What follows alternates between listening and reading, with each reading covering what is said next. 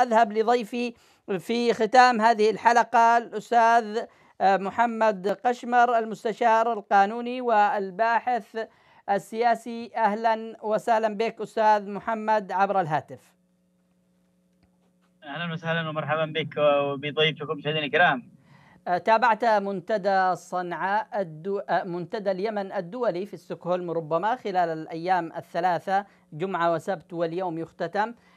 سمعت ربما بعض ما دار في تلك النقاشات. ما الذي رشح حسب ما توصلت إليه وإلى أين يذهب؟ وهل هنالك رؤى حقيقية باتجاه حل المشاكل الاساسيه آه، إنهاء الحرب سحب السلاح من الميليشيات آه، فتح الطرق والمعابر وإنهاء القضايا الإنسانية المختلفة؟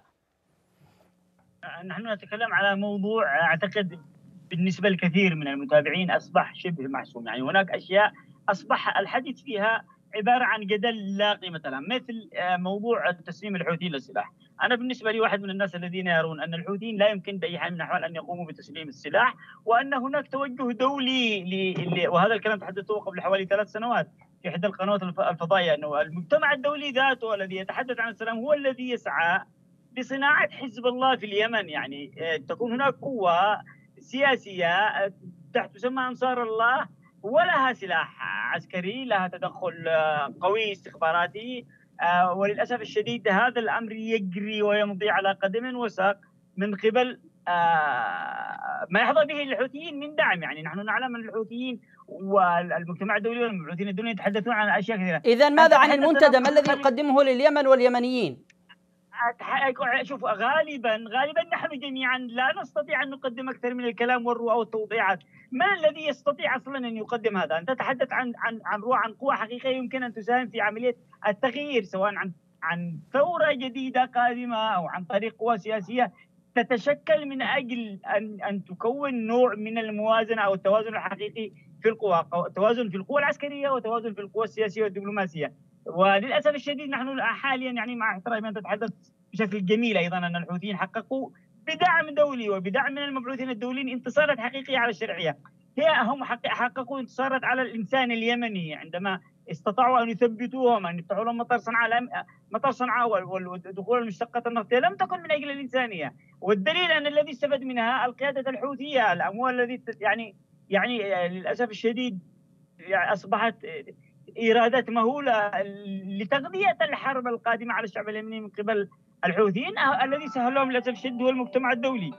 أيضا أنا أقول أن القوى السياسية التي تتحدث عنها أنت آه للأسف الشديد غير قادرة على تقديم شيء، هناك سياسيين أخي مخضرمين، هناك عسكريين عظماء، لكن في النهاية ما زالت عجله السياسة التي نحن نتمسك بها والشريعه تتمسك بها أو أنا نقول أن بحث ان السلام يمكن يكون أن يكون مجدي. حقيقة آه، لماذا لم يستطيعوا إيصال صوتهم إلى هذه المنتديات؟ يعني لا يراهم هؤلاء الوطنيون على سبيل المثال وربما آه، تذكر أنت اسماء آه، يمكنك استعراضها لكن هؤلاء لماذا لم يوصلوا صوتهم إلى المجتمع الدولي لماذا لم يصبحوا رقما واسما موجودا آه، في في قاعدة وعلى الطاولة بشكل مستدام في هذه المنتديات التي تناقش الحل والحل في اليمن؟ إذا سمحت أستاذي أنا لازم أوضح شيء. المجتمع الدولي يسمع كل شيء. المجتمع الدولي لديه تقارير واضحة. أنا وأنت نعلم يقينا أن المجتمع الدولي مجلس الآن مجلس حقوق الإنسان يعلم يعلم الكثير. بل أن المجتمع الدولي يعلم أكثر مما يعلم الحقوقيين الموجودين داخليا ما يحدث في اليمن. لكن هناك محاولة للذهاب لكن الآلة الإعلامية يفترض لكن الآلة الإعلامية والآلة السياسية يجب ألا تتوقف إذا ما عرفنا أن المجتمع الدولي متواطئ وأنه يسمع وأنه يعي وأنه يدرك. يجب أن يكون للمجتمع اليمني وللفاعلين صوتا مختلفا ودائما ومستمر ومستمرا ربما يقول البعض.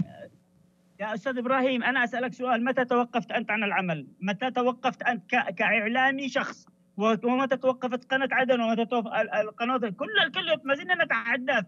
نحن مشكلتنا إن نحن نتحدث والمجتمع الدولي يسمع لكنه لا يصغي. المجتمع الدولي يسمع لنا ويسمع للحوثيين لكنه لا يصغي لنا. هناك خطة يا أخي لا أنا لا أتحدث شوف لا أتحدث عن نظرية المؤامرة. أنا أتحدث عن واقع مبني على أساس معطيات. كل كل المؤشرات تقول أن المجتمع الدولي يغذي الحوثيين بكل شيء، يا أخي المبعوث الدولي يقول بأنه آه، آه، آه، ينتظر الرد من الحوثيين بشأن المعابر، هذا تضليل، هذا تزييف للحقائق، الحوثيين يرفضون، الحوثيين أعلنوا عبر مواقع التواصل الاجتماعي صراحة بأنهم سيفتحوا المعابر المقصود فيها طلقات الرصاص. المقابر. وسيفتحوا المقابر لا المعابر المقصود معبر الرصاص. وسيفتحوا المقابر.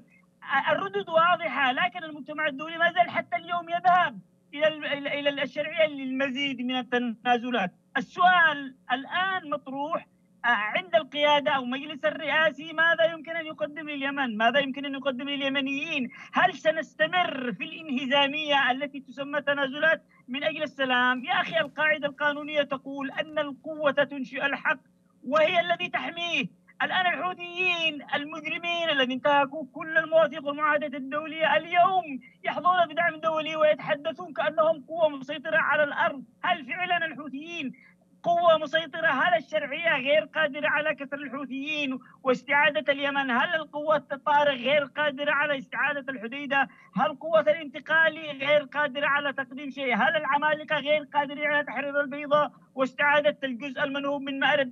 يا أخي هناك نوع من الضغط الدولي على الشرعية وعلى القوة التابعة للشرعية بألا يعني تخضع إلا لما يريده المجتمع الدولي والحوثيين من سلام مؤسف مؤسف ومحبط.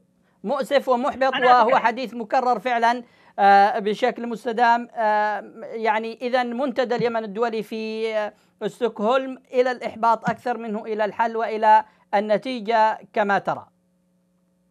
أنا أرى هذا هذا رأيي بالنهاية. آه، حتى لو تفعل منتديات لو تفتح معارض المجتمع شوف المواطن الأوروبي قد يتفاعل معك.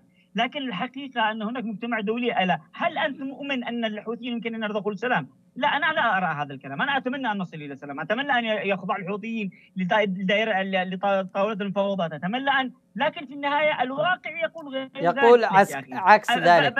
نعم, نعم. يقول عكس ذلك. ونحن حقيقة أثبتنا تكلمنا كثيرا لكن أثبتنا للعالم أن الصوت غير مجدي. صوت صوت العقل صوت صوت السياسيين صوت السلام لا يجدي. الحقيقة أن مثل هذه الأمور لا يمكن أن تصل لحل إلا عن طريق صوت السلطة إذا هو الذي يجدي. صوت السلطة الشرعية وأدواتها هو الذي يجدي أكثر أش...